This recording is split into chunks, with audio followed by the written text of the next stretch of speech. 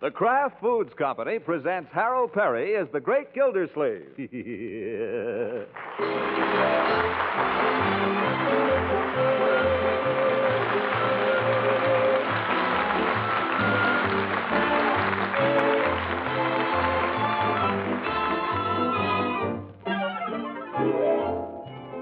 The Great Gildersleeve is brought to you by the Kraft Foods Company, makers of Parkay Margarine.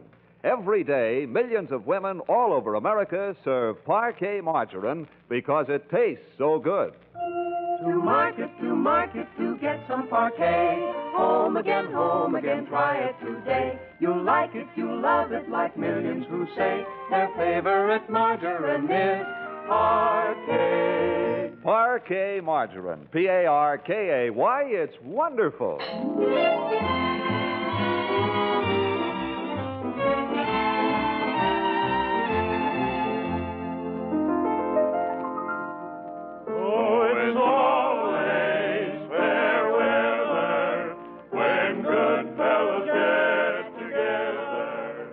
Saturday night, and for the first time in weeks, Gildersleeve has spent an evening in the company of his boon companions at the Jolly Boys Club up over Floyd Munson's barber shop. Oh,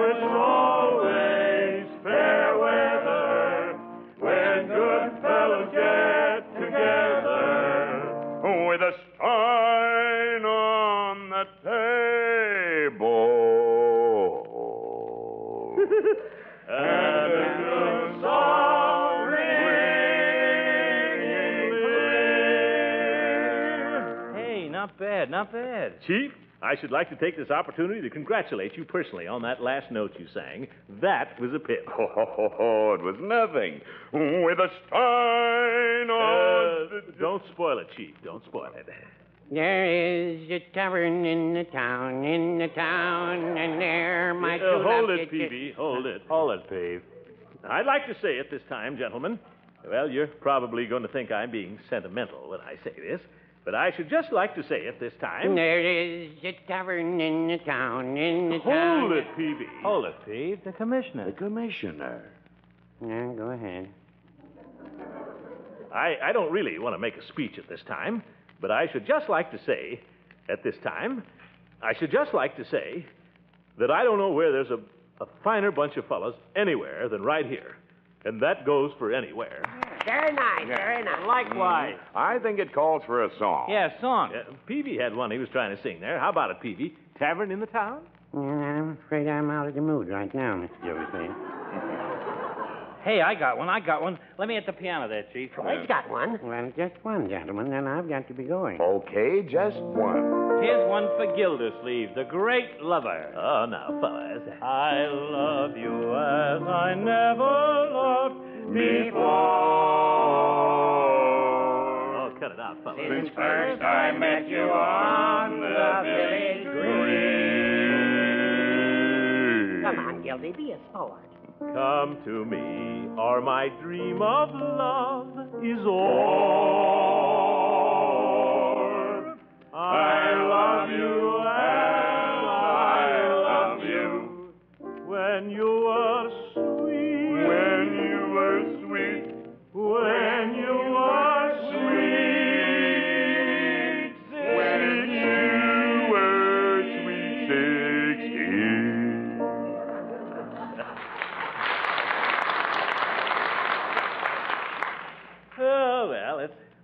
Peavey's bedtime. Home, James. Yeah, good night, all. Good night, Peavey. Good night, Peave. Be careful going home now. Don't do anything I wouldn't do. Yeah, don't take any wooden nickels. Good night. Good night. Good night. Good night, Peavey.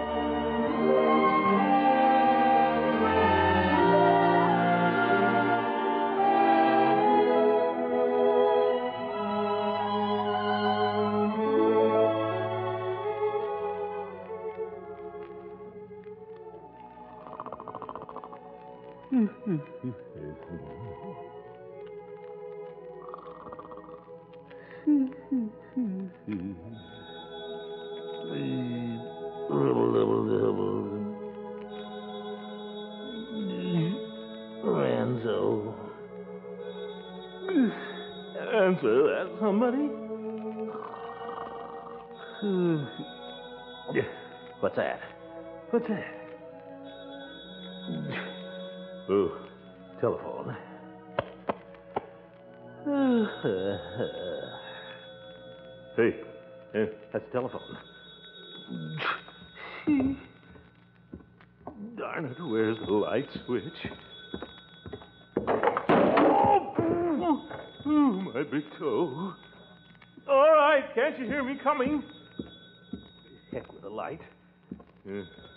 Where's the stairs here? Uh, where's the stairs? Gotta be careful now. Gotta be careful. It's me, Unc. Unky, what happened? I touched Leroy. Leroy, what are you doing up? Turn on a light, somebody. Just don't stand around. There, Unc. Turn it off. It's blinding me. Okay. No, no, turn it on. How can I see in the dark? You want me to break my neck? All right, all right. Uncle Mort, the phone's ringing. You're telling me. Devil could be calling at this ungodly hour? If that's the wrong number, they can just take that phone out of here, that's all. They can just take it right out of here. Darn phone company call you up in the middle of the night and tell you it's the wrong number. Hello? Uh, is this Summerfield 8126? Yes, this is Summerfield 8126. Is this Mr. Gildersleeve? Yes, this is Mr. Gildersleeve. Who is it? Who is it? How Will you shut up so I can find out? Eh, pardon me, who's calling? Uh, this is Mrs. Peavey. Who is it, Leroy? Who's calling? Shut up, will you, so we can find Be out. Be quiet, all of you. How can I hear? How many here? Quiet! Quiet. You too. He too! said you too. Now, what was that name again? I didn't get it. It's Mrs. Peavey. Mrs. Peavey. Mrs. P. Mrs. Peavey. Mrs. Peavey. Yes, Mrs. Peavey. I'm sorry to disturb you, but there's Bertie, nothing. quiet! How many here? How many here? Pardon me. A little interference here. Will you repeat that last, Mrs. Peavey? I'm afraid I didn't get it. I say, is Richard there? Richard? Uh, You mean Mr. Peavey? Why, no, he's not Mrs. Peavey. I left him at the Jolly Boys Club. It must have been three hours ago. Or rather, he left us. Well, I don't know what to do. He hasn't come home. Hasn't come I- home. Mr. Peavey hasn't come home. He hasn't come home, Bertie. My land. Well, Mrs. Peavey, I. I just don't know what to do. Richard's always home by 11. Well, uh, have you called the police? No, I haven't. I didn't know what to do. Richard's always home by 11. I don't know what to think. Uh, Mrs. Peavey, you know what I think? I think he's missing. Oh, dear. Richard's always home by 11. Now, don't you worry, Mrs. Peavey. You just leave everything to me. I'll call the police. This is a job for the Missing Persons Bureau. You mean the homicide squad? I mean the homicide squad. No, I don't. I mean the missing persons. Well, anyway, they're all the police. So don't you worry, Mrs. Peavey, and don't get excited. You just go back to your little bed and keep calm. We'll find your husband for you if we have to drag the reservoir.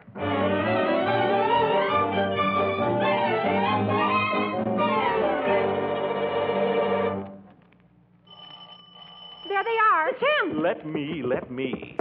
Stand back, both of you. Well, Chief, it's about Leila. Throckmorton, is anything wrong? I saw all the lights on. I thought you were the chief of police. Well, I thought I heard a sound, and I saw all the lights on over here, but when I tried to phone, the line was busy. So I threw on my coat. Come in quickly, Leila. Quickly. Why? Eh, better lock it, I guess. Hi, Mrs. Ransom. Guess what happened? Leroy. What? Mr. Peavey has disappeared. Marjorie. What? I wanted to tell her. Now go upstairs, both of you children. Go on back to bed. Oh, can't we just stay down? It's three o'clock in the morning. No time to be running around the house in your bare feet. Now do as I say. Come on, Marge. Make her come, on. I'm coming. Gosh, we miss all the fun. Well, Throckmorton, tell me, what in the world? Now is- don't get alarmed, Leila. There's nothing to be alarmed about, you understand? There's nothing to be alarmed about. Is that a gun you're carrying? It's no water pistol, I'll tell you that. Well, couldn't you put it on the mantle or someplace? Don't worry, I know how to handle it, Leila. I'm a deputy, you know. Well, tell me now. It's something about Mr. Peavey? I don't want to alarm you, Leila, but I'm afraid there's been foul play. Oh, Peavey has disappeared. how perfectly terrible. But who would ever a sweet old thing like Mr. Peavey? Oh, I just think that's terrible. If you don't suppose he could have fallen down somewhere and sprained his ankle? Oh, anything could have happened. What's worse, the police, as usual, have proved themselves completely incompetent. Oh, dear. I called the chief two hours ago and told him to get right over here, and he's not here yet. So I've taken over. Mm. I phoned Floyd Munson and told him to round up all the other deputies. And when they get here, we'll form a searching party. You mean you're going out looking for him in the dark? Well, I think one of us ought to stay here so the others can report back. Oh, Throckmorton, you're so brave. Oh, I declare, I'm glad I'm not all alone over that my house with things like this going on. I'll look out for you, Leila. Sit down. Uh, don't you want to take off your fur coat? Gracious, no. All I've got on under this is my nightgown. I just threw on the first thing that I could find. Uh, that's them. If it's people, I'd better hide. Uh, no reason to hide. Just keep your coat on. Well, Judge, Floyd, come in, fellas. Gildersleeve, for heaven's sake, put that gun down. You're a menace to the community. It just so happens, Judge, that I have a permit for this gun. Well, stop waving it around. Well, hiya, Mrs. Ransom. How's it going? Leila, this is an unexpected pleasure. I just this minute arrived. Yeah, she just this minute arrived. I saw the lights on over here, and I was afraid it might be appendicitis or something, so I just ran over. Yeah, she just ran over. Hey, what's this about the peas? Yeah, Floyd tells me. It's that- all true, fellas. His wife called me about 1 or 1.30 and asked if he was here. Well, you know, we said good night to him about 10.30 or quarter to 11. Ah, he probably just laid down someplace and took himself a little nap. Not Peavey. He goes straight home. Gildy's right. If it had been anybody else. But Peavey. Well, what I did, right away I called the chief. I told him to get himself right over here. That was two hours ago. Now, I don't like to say this, but this is typical. The chief is dead on his feet, him and his whole department. That's why I called you fellas. What we've got to do is throw out a dragnet, comb every nook and cranny. We ain't going to get very far with a three man dragnet. Aren't there any others coming? Judge is the only one I could raise. What a town. Well, Who's that? I'll go see. Well, Chief, it's about time. Do come in. Hmm. Hiya, Chief. What kept you? Chief? Uh, what's this, a party? I just this minute got here. Mrs. Ransom. Well. I just this minute got here. A fine bunch of deputies you've got, Chief. These two are the only ones I get hold of. Suppose there was a real emergency. Suppose. Now, just a minute, Commissioner. Who authorized you to go calling out the deputy? Who authorized me? Nobody. But it's a lucky thing there's somebody in this town who's got a little gumption, I'll tell you that.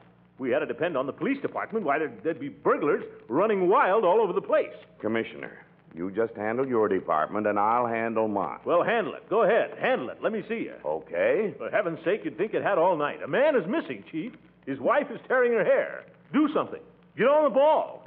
It's two hours since I called you up and told you to get over here. Commissioner, when a man is missing, we don't go tearing off after the first loudmouth that begins to hoop and holler. Whoop! That is not our method. No. When a man is missing, we go to his home first and look under his pillow. Under his pillow? What for? This. Uh, what's that? A note. From Peavey? Read it. Uh, the mortgage is in the safe deposit box. The key to the safe deposit box is in the safe. The combination to the safe is in my handkerchief drawer. Don't forget to water the rubber plant, Richard. How do you like that? Just Blue Town. The old son of a gun. Well, he's more of a man than any of us.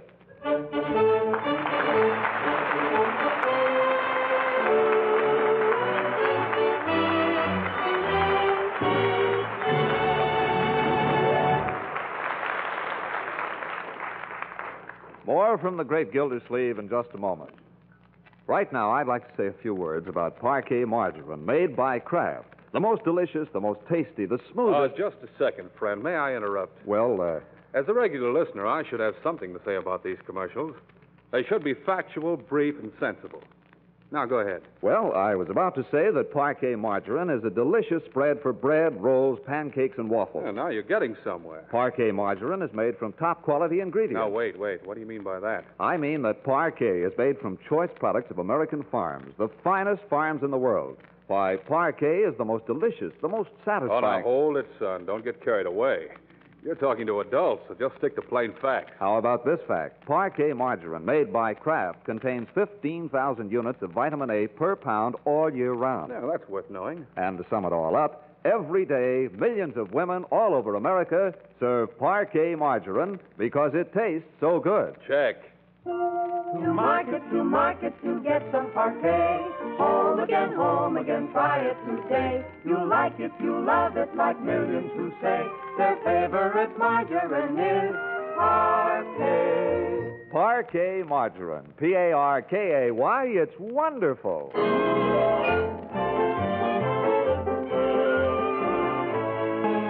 Now let's get back to Summerfield, which is simply buzzing. The proprietor of Peavey's Pharmacy has disappeared. The whole town's talking, and the Jolly Boys have been called in extraordinary session. All right, gentlemen, let's come to order, shall we? Yeah, let's get going. How I miss you, dear old pal of mine. Floyd, shut up. What's the matter? You wouldn't want everybody singing if you were gone. Gosh, I didn't mean anything by it. Just got to thinking about the peeve, and I thought of the song. I miss old Peeve. It's simply a question of good taste, Floyd. I keep asking myself, why did he do it? He had everything to live for. He probably had his reasons. Can we get started now? It's 7:20. Gentlemen, we have called this special meeting of the Jolly Boys Club to take up the question of one of our members who is uh, absent.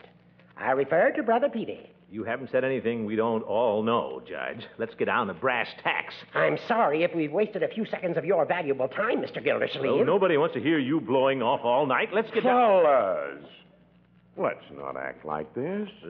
Peavey's gone. The rest of us have got to stick together. The chief is right.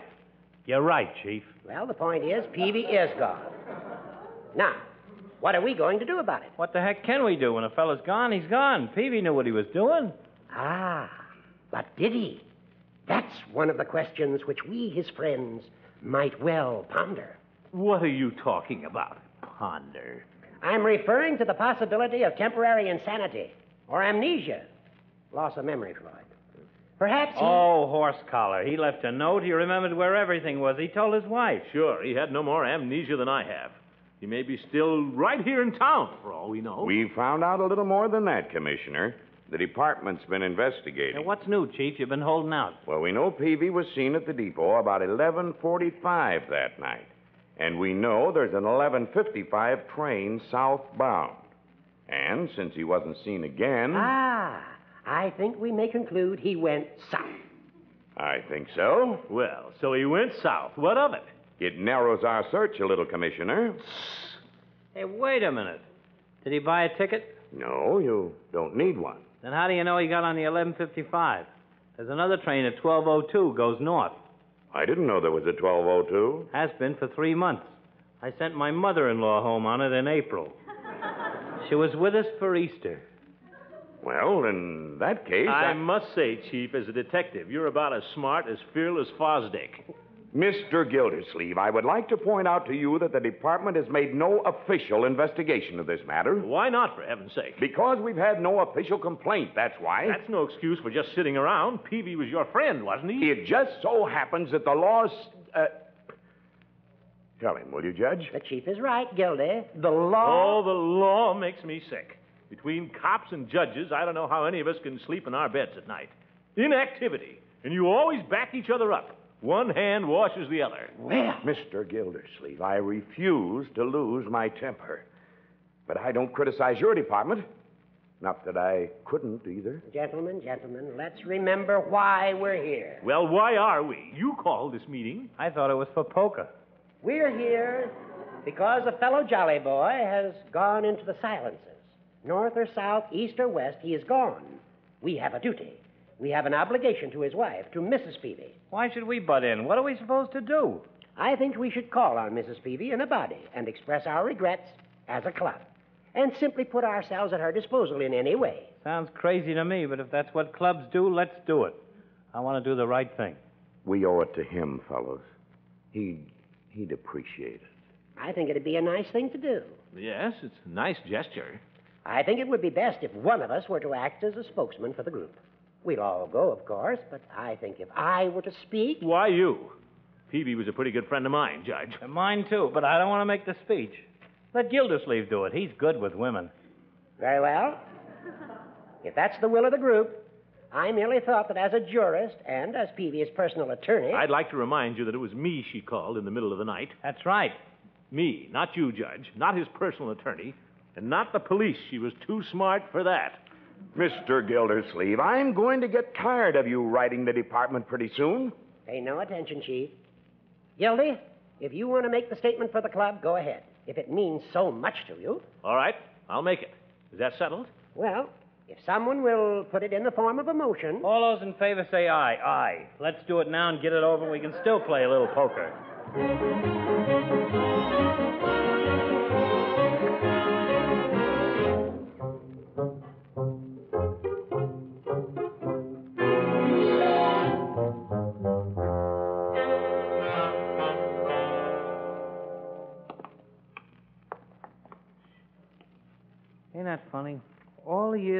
Peavey, I've never been inside his house.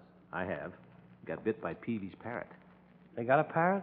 Yeah, there's a parrot. We checked him the other night. Checked him for what? Just checked him. It's routine. There's a light in the front room. I imagine that's where she's sitting. Is that her peeking out from behind the window shade? Very likely. She must have heard the car drive up. Well, we might as well go in. No use making her worry.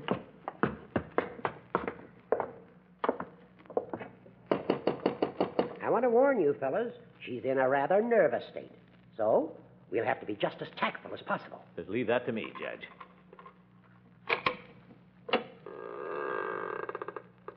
Who is it? Judge Mr. Hooker. Gildersleeve. I'll do the talking, Judge. Uh, it's a few friends of Mr. Peavey's, Mrs. Peavey. Mr. Gildersleeve, Judge Hooker, Chief Gates, and we wondered if. Hey, we- how about me? Huh? Oh, oh, yes, and Mr. Munson. Uh, we just wanted to see you uh, a minute. Yeah. Now, come in. What the? Oh, the parrot, huh? Good evening, Mrs. Peavey. Any news, Judge? No, no news, I'm sorry to say. You've heard nothing yourself? Not a word. I can't understand it. Polly Wanacrocker! That's all the commotion. Well, say now, that bird's clever. He said, What's all the commotion?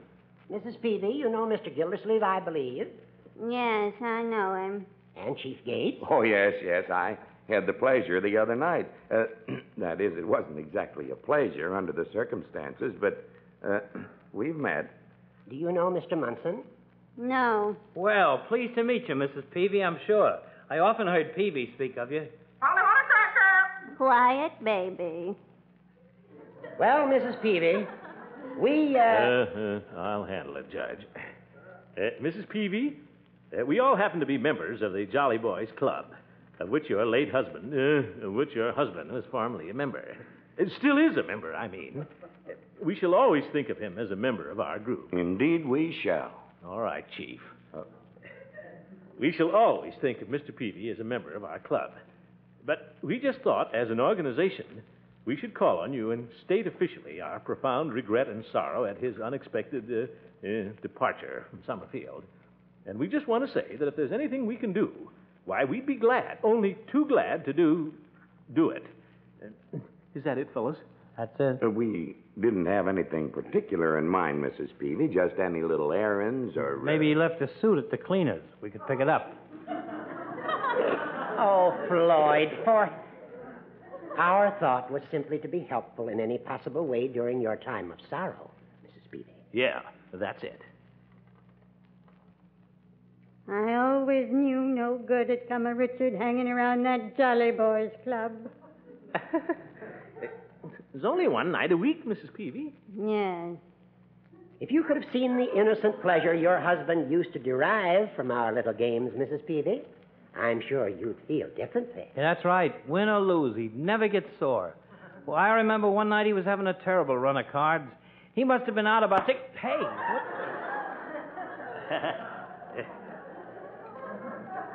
Mr. Munson is right. Mr. Peavey never lost his temper or gloated, never swore or used profane language. You should be proud of him. Well, he's gone now. Uh, we realize that, Mrs. Peavey, and that's why I we. ca- always knew no good had come out of that club. Put ideas into Richard's head. Oh, now, Mrs. Peavey, we never. On the Mother Cracker! On the Mothercracker! Hush, baby. Fellas, I, uh, I think we'd better go. Mrs. Peavey's been under quite a strain, and it probably tires her to stand around gassing with strangers. Uh, we just wanted to tell you that uh, if there's anything we can do. There isn't anything. Oh. Well, we just. Uh, uh, good night, Mrs. Peavey. Good night. Good night, Mrs. Peavey. Night. Mrs. Peavey, before we go, I'm sure that we are all taking an unnecessarily pessimistic view of the situation. I'm sure that somewhere, at this very moment, Mr. Peavey is thinking of you, possibly making plans to return. After all, to him, you are the center of the universe, a lodestar, irresistibly drawing him home. Well, no, I wouldn't say that. that bird knows something.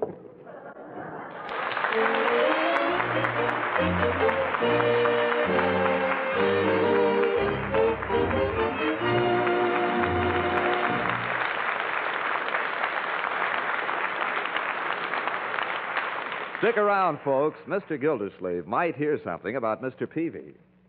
Every day, millions of women all over America serve Parkay margarine because it tastes so good. Try it soon. See if you don't prefer Parkay margarine's fine, fresh flavor to any other brand, as millions do. It's true, every day, millions of women all over America serve Parkay margarine because it tastes so good. Look first for the margarine of Kraft quality. Parkay margarine, made by Kraft. To market, to market, to get some Parkay. Home again, home again, try it today. You'll like it, you'll love it, like millions who say their favorite margarine is Parkay. Parkay margarine. P A R K A Y. It's wonderful. Is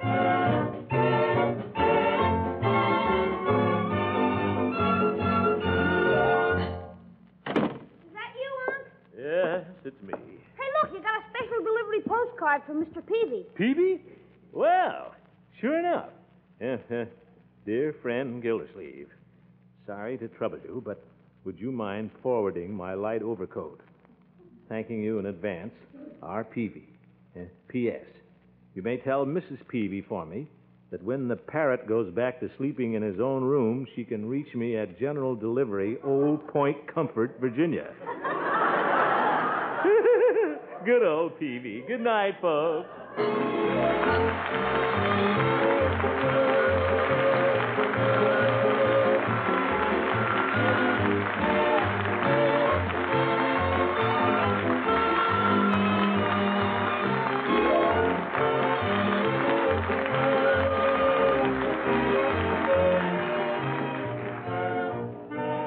Great Gildersleeve is played by Harold Peary. It is written by John Whedon and Sam Moore. The music is by Jack Meakin. Included in the cast are Walter Tetley, Louise Erickson, Lillian Randolph, Shirley Mitchell, Earle Ross, and Richard LeGrand. This is John Lang saying goodnight for the Kraft Foods Company, makers of the famous line of Kraft quality food products. Yeah, good night. Listen in again next Wednesday for the further adventures of the Great Gildersleeve. Good night.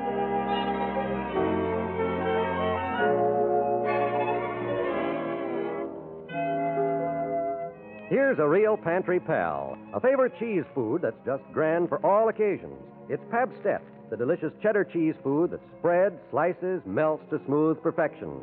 Serve it between meals and at parties as a tasty appetizer or sandwich spread.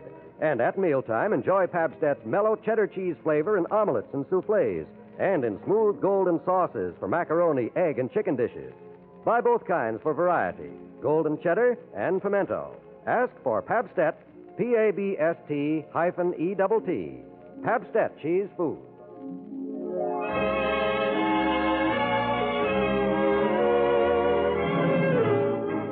This is NBC, the national broadcasting company.